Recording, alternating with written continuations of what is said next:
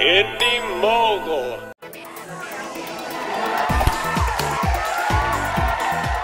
The critics sure do love Jeremy Renner in this movie, just like they always loved Matt Damon. Looks like Affleck is trading one problem for another. You're watching Beyond the Trailers review of The Town.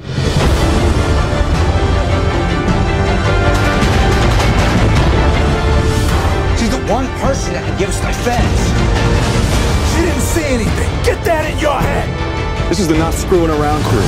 So find me something that looks like a print because this not screwing around thing is about to go both ways. After his high profile romance with J-Lo blew up in his face and destroyed his career, Ben Affleck was left in the ruins to rebuild. And rebuild he did. First, with the critically lauded supporting role of George Reeves in Hollywoodland, and then behind the camera as director with the also critically lauded Gone Baby Gone. While audiences weren't quite as impressed as the critics, Affleck undoubtedly generated a spark which he now hopes to coax into a flame with The Town. This movie is packed with Oscar nominees and winners, along with Gossip Girl's Blake Lively, who Warner Brothers is grooming to be their next big movie star, with this role in the female lead in Green Lantern. As for Affleck, he's working in his comfort zone, telling another Boston tale. And he's got a neat hook this time, pointing out that this part of Boston is the bank robbery capital of the world. Not only does this allow for a lot of action sequences, but for a nifty cat and mouse game between Affleck, who also stars in addition to directing, and Mad Men's Jon Hamm. Will critics bite? Will audiences bite? The initial reviews are excellent. Again, they love Renner, but there's plenty of competition this fall at the box office, and Affleck needs those numbers to solidify his comeback. So, will he rise like the phoenix from the ashes? It's up to you. So, The Town.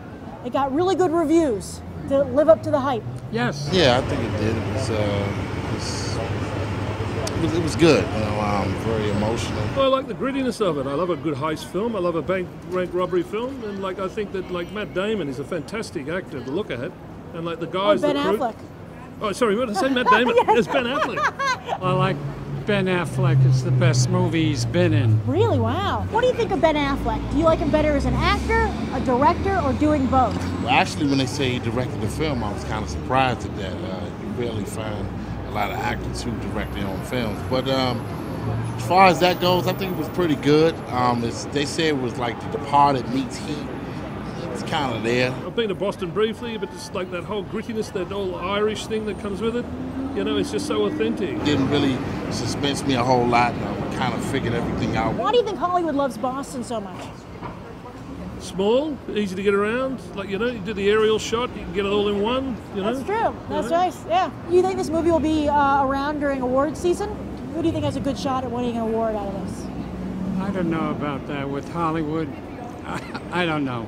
Do you think it deserves awards? Well, I think he deserves an award, really. And so does Blake, uh, Blake Lively. Is she was good? fabulous. You got like the girls. She's good to look at too. You know. They- Oh, yeah, yeah, which yeah. one did you like? Blake Lively, the blonde, or the brunette Rebecca Hall? She was like something out of The Sopranos. The Oh, blonde, oh, wasn't she? yeah, right? No, but the one I like is Hall. What's his Oh, name? oh, Is yeah, this- is Rebecca it- Hall. Rebecca Hall. Yeah, she's Beautiful. I don't think that would be up for any awards. Oh, really? Okay. Uh, no, not, I'm not saying that because I don't Oh, think it was that's a bad film. Yeah. Because I think there will be other films that come out of there that will Oh, really like, okay. give it a run for their money. The other guy out of the Hurt Locker as well. Like you know. Oh, Jeremy Renner, yeah. yeah, yeah, yeah. They're just and, like the casting of it. It's fantastic. Do you recommend other people pay to see this movie in theaters, or is it a rental? Uh, I, I suggest they go out and see. What would you say to people who are on the fence about seeing this movie in theaters? Is it worth seeing in theaters? Take the stick out your ass, jump off the fence, and go and see the film. I liked it. Oh, great. So that's the important thing. It is. What do you give the movie on a 1 to 10? One to ten. Uh, I'm gonna have to go seven. Between an eight and a nine. Sounds like Affleck has made a solid, if not spectacular, caper with audiences giving The Town a 7.5. And hey, would you like to see your movie covered here on Beyond the Trailer? Then be sure to enter it in the Big Break movie contest from Rogue and AMC Independent. I'm one of the judges and will be picking a movie to be released nationwide in 50 theaters this spring. Go to imrogue.com slash big break for details. I'm Grace Randolph, and I hope you'll go beyond the trailer for these other top movies.